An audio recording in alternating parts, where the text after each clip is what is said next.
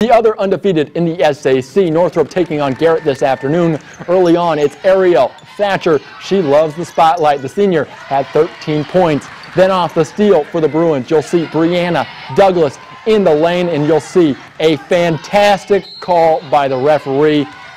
Even a better finish for the and one for the Railroaders. They will find some rhythm. Camden, Bodie for Garrett. Northrop, they take care of business, though. Morgan Hughes on the other end. She'll finish in the lane. The Bruins stay undefeated. They move to 10-0 on the year with a 64-23 win.